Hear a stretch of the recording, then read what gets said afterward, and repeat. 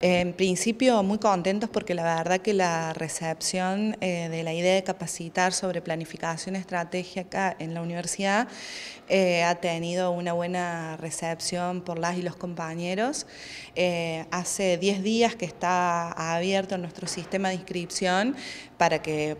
pudieran los compañeros y las compañeras inscribirse para, eh, obviamente, hacer esta capacitación. Esta inscripción eh, cierra en el día de hoy y la primer tanda de cursantes de esta capacitación arrancan la semana que viene, el día 14.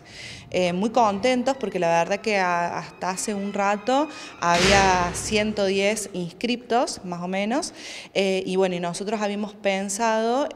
la posibilidad de hacer equipos de trabajo de 30 y 40 compañeros que asistieran por cada, por cada equipo de trabajo. Así que ya en el día de mañana vamos a estar este, notificando a las áreas para que tomen conocimiento de quiénes son los no docentes que han eh, realizado la inscripción y quiénes estarían en condiciones de eh, empezar la capacitación la semana que viene. Y también vamos a estar informando cuándo se van a estar replicando esta misma capacitación para que los 110, 115 no docentes que se inscribieron la puedan tomar. Todavía tenemos el cuatrimestre por delante, así que los fines de eh, hacer una, digamos, que la capacitación sea ordenada y teniendo en cuenta, eh, digamos, cuáles fueron los objetivos que se plantearon en este proyecto de capacitación, que fueron charlando, charlados con, con Germán Monge, que es eh, en este caso quien va a oficiar de, docente en la capacitación y las estrategias que él utiliza para,